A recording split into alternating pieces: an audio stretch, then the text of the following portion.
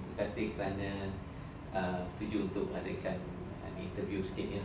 Okey, kita uh, lah nak tanya lah eh. Okey, uh, bagaimana perasaan eh uh, Cik Rashid dan Cik Abu uh, dengan kaedah baru dalam pembelajaran hari ini? Berguna untuk kita. Sebab kita jarang menggunakan tab ni. Jadi Ha. kita tak dapat maklumat yang baru. Hmm. Dari apa-apa macam dari pemerintah, Hmm. kucing ke apa-apa sebenarnya. Ya.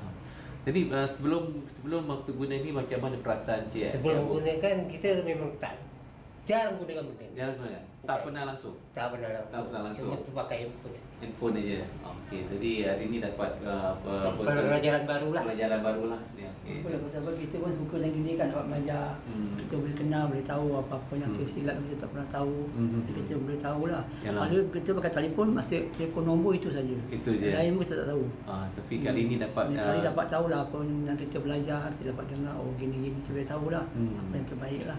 Yalah, okey lah, alhamdulillah lah. Jadi dari Cik apa uh, bagaimana Cik mungkin adakah apa Cik Apu dan Cik uh, Rashid rasa mungkin uh, dah masa untuk mempunyai satu Allah lah, Ya. rezeki boleh lah. Okey, terima kasih. Terima kasih. Okay.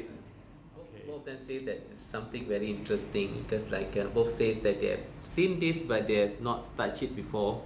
Uh, so today is uh, uh, they, they have more confidence lah and in, in using these things and they know they, they understand what else uh, can be obtained from uh, such devices especially with internet lah.